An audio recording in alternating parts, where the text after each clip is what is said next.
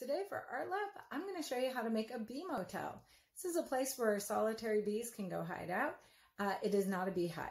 You're not going to get honey out of it. Don't come back and comment and say you made this, no honey, because um, that's not going to happen. It's just a way to kind of draw bees over to a little hideout. And if it can draw away from where you're sitting, that's probably a good thing. I know for me, bee landed on my foot the other day. Wasn't a fan. Zero stars. So let's get started.